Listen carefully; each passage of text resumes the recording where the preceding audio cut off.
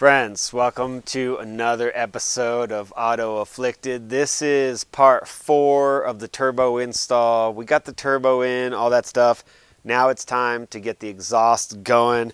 We got a box full of JMD goodness, stainless steel pipes. Alex here is gonna weld it up. That's what he does, and we're gonna get into it right now.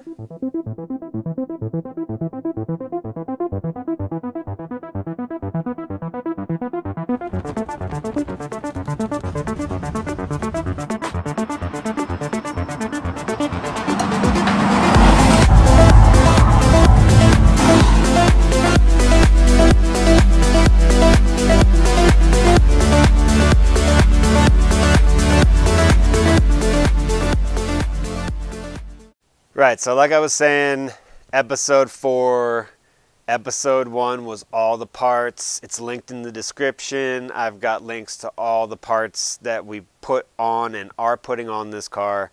Episode two details putting the intercooler into the bumper. You can go check that out. Episode three is uh, when we installed the turbo and started that up. That's definitely something to catch. And now, here we are.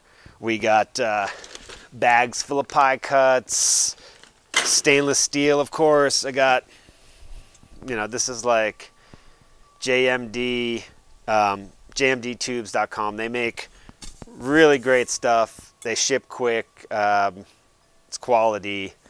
Kind of love it.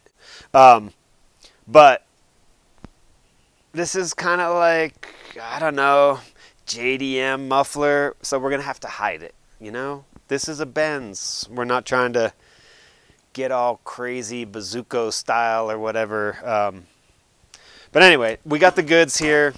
I got my man Alex. He's a wizard with the welding stuff. He's going to put all the sweet butter welds down. And uh, let's go. All right, so plate is tacked to the downpipe and then I'll just cruise around in different spots, watch my heat. It's a little tricky because the thickness of this plate compared to thickness of tube.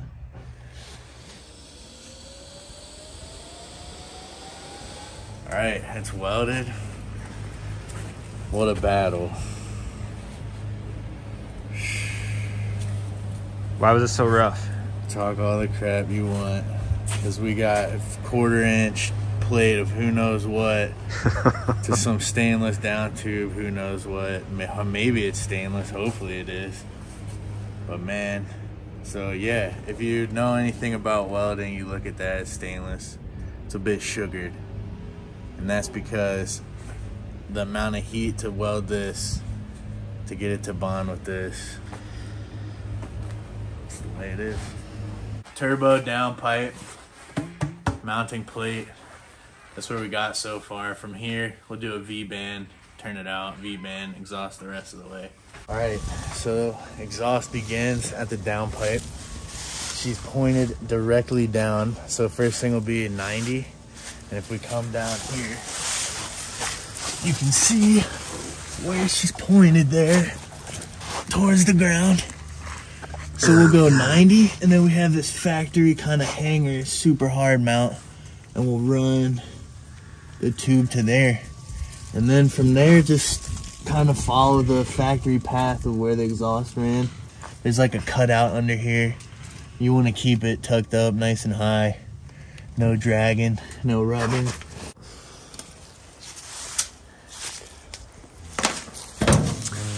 What do you got going on there? So, just cutting off a bit of this to line up with that bracket under the car we got to account for the amount of drop in this 90. So we don't want it sitting too low. So cut up here. Pie cut goes on side this way.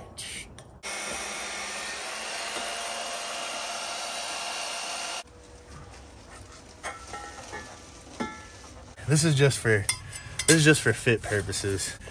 Ignore this alumite steel. But anyways, so we got pie cut in 90. Down tubes bent or cut. and so there's the hanger. So we meet it up here, and there, and then the exhaust begins. And then somewhere along here, we'll V-band so you can disconnect and still pull out the downpipe and service whatever if it's in the way. Downpipe to the first 90, we've got all marked and cut up. Um, and now we've got Blake here with the ESAB and a TIG switch, like switch on torch instead of the pedal. Just faster. Quick zip up the tack and keep moving.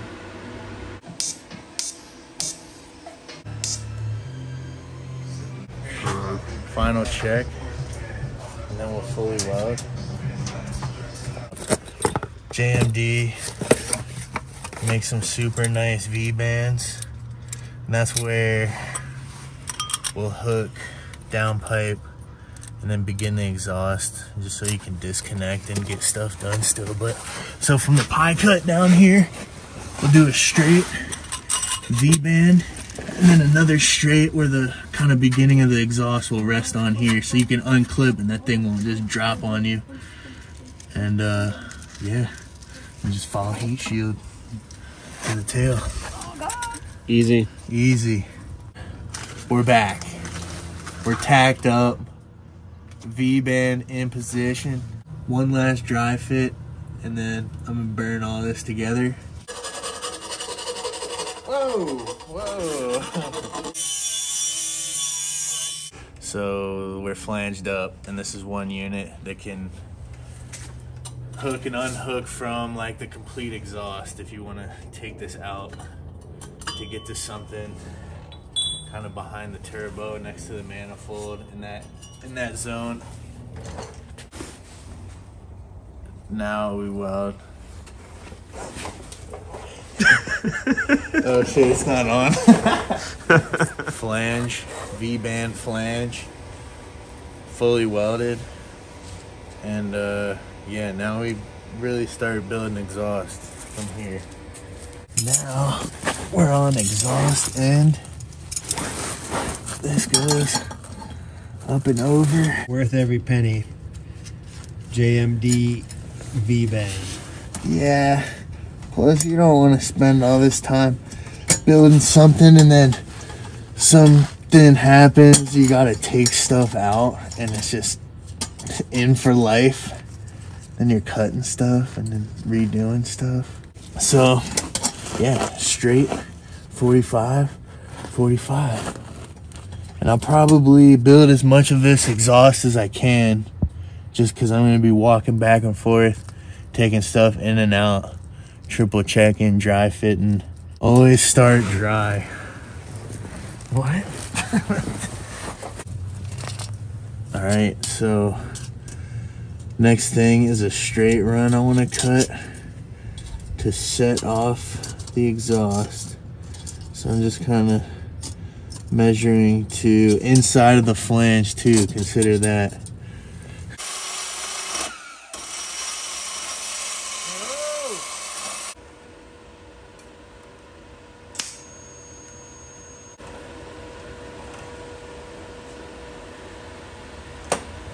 yeah okay that's the start of our exhaust.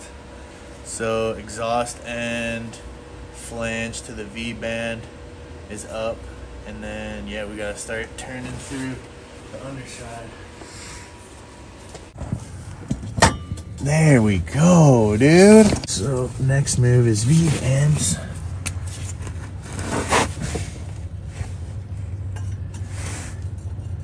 so i'm just kind of indexing where the pipe's gonna line up when i walk out of here and go weld it away from the car.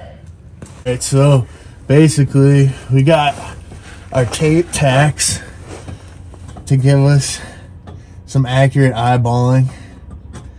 And we're just trying to see if we could get this done with what we have left. Kind of like fake building out the pipe It looks like it's coming right at this spot that we needed to go to. Ooh. So we got this length of exhaust on here. We're just gonna mark the O2 sensor bung. and then drill a hole and tack that in. Putting the bung hole in now. It's crucial for the O2 sensor. Switching over to the tree. Christmas tree bit. Marked it. Now I just go hard.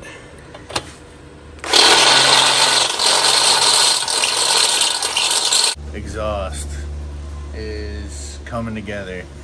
We're like basically to the rear diff, fully welded and bunged up O2 sensor up here and downpipe meets here. Man. And it cruises on through. And that's hot still, so don't touch that. Put the But, hanger uh, on. You said hanger. Hanger, yeah. That's the next thing. Start hanging the exhaust.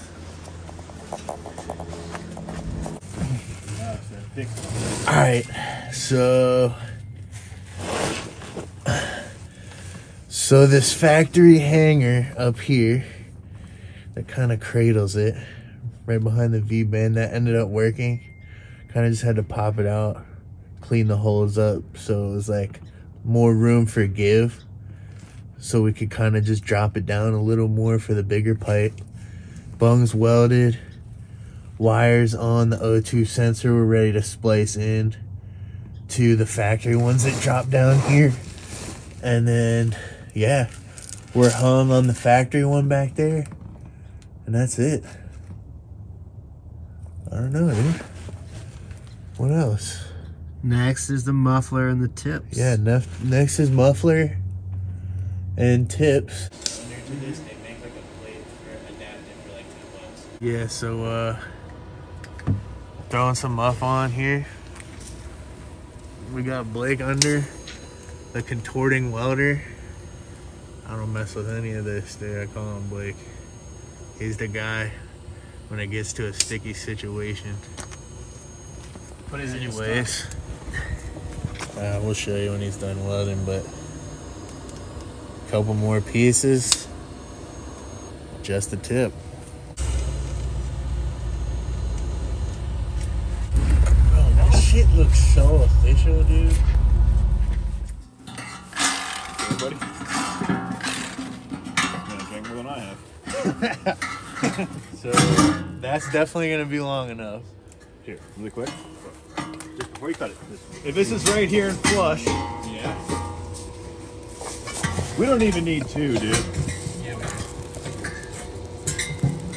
No, like This is long enough. I don't think we need. Oh, it's hot. I don't think we need two. Alright, you're good. It's, It's some it's enough. That thing is, some That thing is- from Should've a that is the most solid hanger I've ever seen in my entire life. Sometimes you gotta take it to the junkyard, and sometimes the junkyard's on the side of your house. And use that just to hang it over top if we need to. Yeah, so you go like here, you go like right here and cut those short. That was just two. Oh, that's hot. And then, uh, then we'll do that. Every time. That's the thing, dude. You work with it all the time. You get too comfy. Sawzall. You guys Oh. snap Whoa! Oh. Oh. it's like a grenade. Here, here, here, get this right here. I'm going in. So you, that's not the good shit. No, well, that's not the, that's not the brushless. That's not the good stuff. Hey, maybe we could get a Milwaukee sponsorship and they send be. us shit that actually works. I guess I'm not gonna buy you a Milwaukee hat at Home Depot then. No. Rep broken shit. So fast forward many hours, got the tips and the exhaust all connected.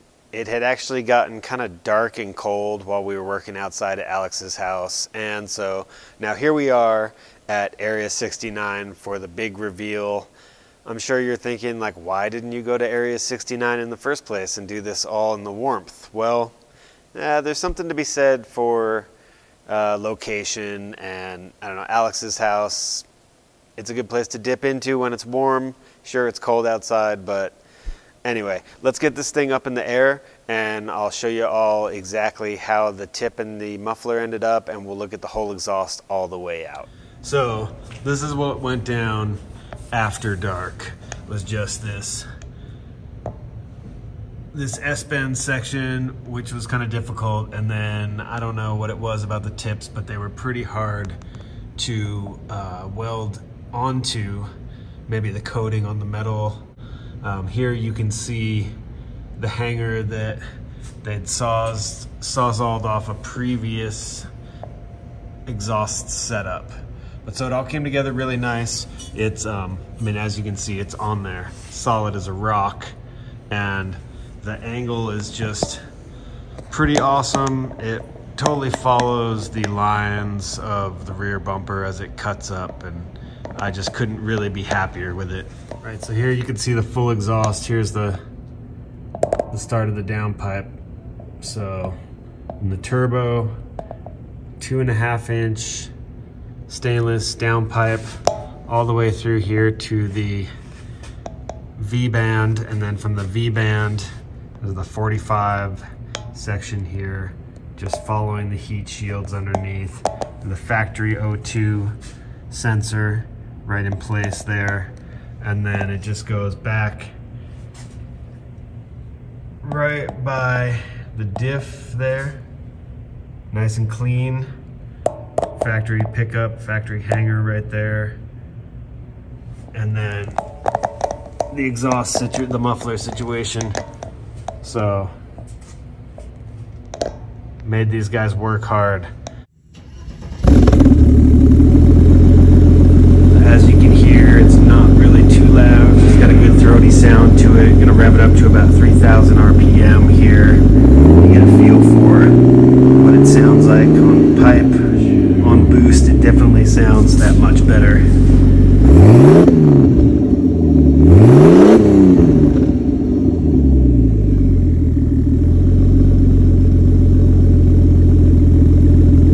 As you've heard, the exhaust turned out amazing. It's, um, what would I call it? It's very adult. Has a good sound to it. It's not too loud in the cabin. Doesn't make the neighbors angry. So that's exactly what I was looking for and has this great throwback style. So all in all, super happy. Shout out to Alex and Blake. They did all the dirty work, made it beautiful, uh, got my exhaust exactly how I wanted it, battled with the tips, made it happen. So really, I can't say enough. Um, big thanks to those guys. And also to jmdtubes.com they have the amazing stainless product. They got regular um, non-stainless. They got whatever you need for your exhaust or turbo intake setups. And that's a wrap for episode four. We've got um, episode five coming up, which is either going to be on the dyno or it's going to be about putting the boost gauges and the air fuel mixture and all that in this car um, important stuff. You know, got to have tools for diagnostics, gauges. Um, so as ever, thank you all for stopping by, checking it out. If you enjoyed the video, you like the channel, please think about subscribing. Hit the notifications. That helps a lot with seeing the videos early. And, you know, be kind to your neighbors, love the ones you're with, and we'll catch you on the next one.